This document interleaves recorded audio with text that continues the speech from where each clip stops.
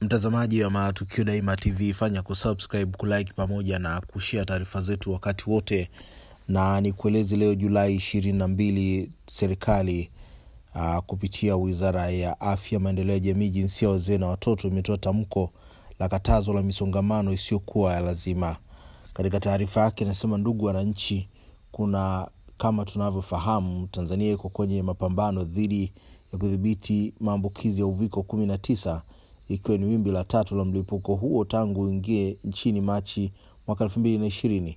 Itakumbukwa kuwa wizara ya afya na viongozi wa serikali kwa ujumla wake kwenye viongazi mbalimbali wamekuwa wakitoa taarifa elimu na kuhamasisha juu ya kujikinga na kuwakinga wengine dhidi ya maambukizi ya uviko kumi na tisa. Anasema taarifa hiyo inasema serikali inatambua kuwa wananchi walio wengi wamekuwa wasikivu na wakiitikia na kutekeleza miongozo yake ya kujikinga na kuwakinga wengine ingawa kwenye baadhi ya maeneo mwitikio umekuwa sio wa kuridhisha. Hali hiyo imeendelea kuchangia kuongezeka kwa maambukizi na hatimaye kuongezeka kwa idadi ya wagonjwa waliolazwa ambao kufikia tarehe ishirini na moja mwezi wa saba mwaka elfu mbili na ishirini na moja katika vituo vya huduma vya afya kote nchini kulikuwa na wagonjwa mia sita themanini na mbili waliokuwa wanaugua maradhi ya uviko kumi na tisa taarifa hiyo inaeleza kuwa aidha wataalamu wa afya wameendelea kupambana kwa moyo mmoja kuhakikisha huduma bora zinatolewa kwa wakati lakini hata hivyo baadhi ya wagonjwa wamekuwa wakipoteza maisha.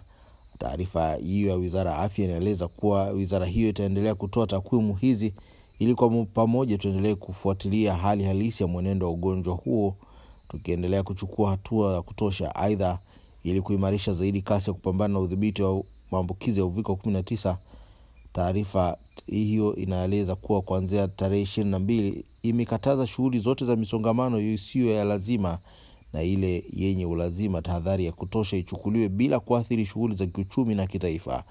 Na taarifa hiyo inaelekeza waheshimiwa wakuu wa mikoa na wakuu wa wilaya kuwapa ushirikiano waganga wakuu wa mikoa na wa wilaya katika kutekeleza majukumu yao kwa mujibu wa sheria ya afya namba moja ya mwaka elfu mbili na tisa na kuweka utaratibu mzuri kwa wale wanaoomba vibali vya shughuli zenye ulazima. Taarifa hiyo ya wizara ya afya inaeleza kwamba wizara hiyo kwa ushirikiano na wadau wake wote itaendelea kutoa elimu na kufanya ufuatiliaji na utekelezaji wa miongozo ya afya. Aidha inatoa wito kwa wananchi wote kujiandaa kupata huduma ya chanjo kama ambavyo waziri mkuu alivyoitoa taarifa hiyo ya siku ya julai ishirini na moja na wataalamu wa afya wamekutana kupata mafunzo tayari kwa ajili ya kuwezesha upatikanaji wa huduma ya chanjo dhidi ya uviko 19 kwa hiari bila malipo. Taarifa zaidi zinaendelea kutolewa kuhusiana na chanjo hiyo. Lakini taarifa hiyo mtazamaji wa matukio daima tv inaeleza kwamba wito wa kuendelea kushikamana kwenye mapambano ya kutokomeza kabisa adui uviko 19 yani covid 19 kwa kuzingatia utekelezaji wa afya zote za kujikinga na kuwakinga wengineo ikiwemo kuhakikisha sehemu zote zinazotoa huduma za kijamii zinakuwa na miundombinu ya huduma. Ya kunawa mikono kwa maji tiririka na sabuni. Kama maji hakuna kuwe na matumizi ya vitakasa mikono. Taarifa hiyo inaeleza kwamba wananchi wote wanatoa huduma za kijamii. Wanaofika kupata huduma za kijamii wahakikisha wamezingatia afya za kinga zikiwemo kuvaa barakoa safi na salama kwenye maeneo maalum ya huduma za kijamii zinazokutanisha watu wa kadhaa kupata huduma kanuni kuepuka misongamano izingatiwe kuchukua tahadhari zote. Kwenye vyombo vya usafiri utaratibu wa kuepuka kubeba abiria kwa msongamano huzingatiwe kabla abiria hao hawajaingia kwenye chombo husika kuwa na utaratibu wa kuhakikisha wamezingatia tahadhari zote za kujikinga na kuwakinga wengine. Vilevile vile kukumbusha wananchi kuendelea kuzingatia lishe bora kufanya mazoezi na kutumia tiba asili zilizosajiliwa na baraza la tiba asili pasipo kuchelewa kufika kwenye vituo vya huduma kwa ushauri wa kitaalamu.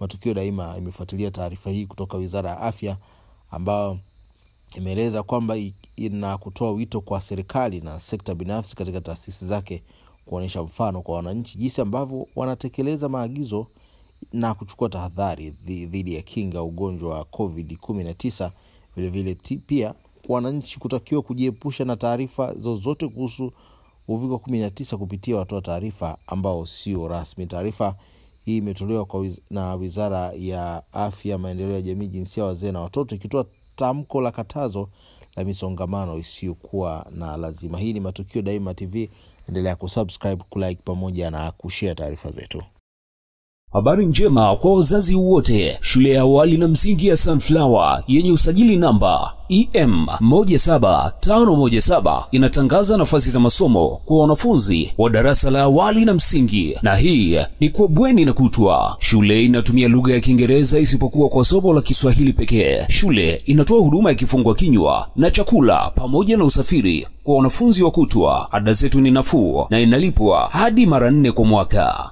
Shule ipo mkoani Iringa, wilaya ya Kilolo, mji mdogo wa Ilula, kitongoji cha Masukanzi, au unaweza kuwasiliana nasi kwa simu namba 0752 525 622 au 0767 337 763 au email admin at ioptanzania.org au tembelea website ya www.ioptanzania.org.